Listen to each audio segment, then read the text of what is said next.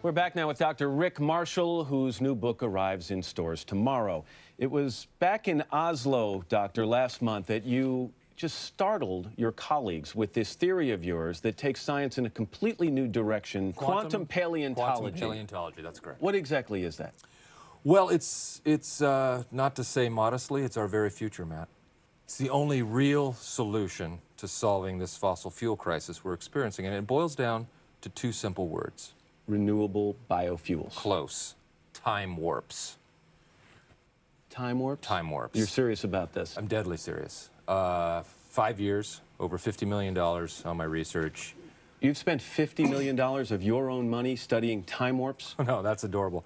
No, uh, taxpayers' money. I don't have $50 million. And now you're asking for more? It's all explained in my book. I know, we, we plugged the book. My other car is a time machine. Bantam Books, Amazon. We are living in a time right now with, with huge cuts in spend. I saw huge cuts in spending. Right. We're in dire economic straits, and you're spending $50 million on studying time warps. How do you not think that's irresponsible? Well, are you I, smoking? No, I'm making a balloon animal here. But you can't smoke in the studio. Okay, no one told me that. Just look, you look, can't. Fine. There are huge, huge amounts of trans-dimensional energy out there just waiting for us to throw the switch. Energy crisis averted. You are asking people to stake the entire future of industrialized mm -hmm. civilization on what you call parallel dimensions.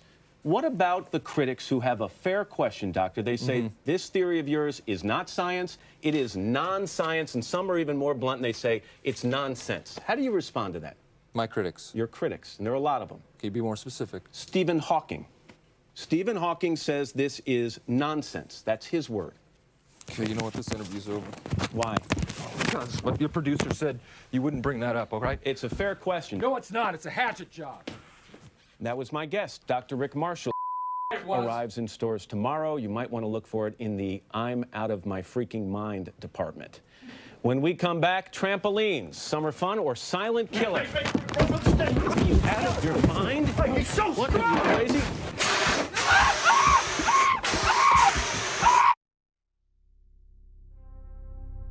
Ladies and gentlemen, esteemed colleagues, I'll conclude with this.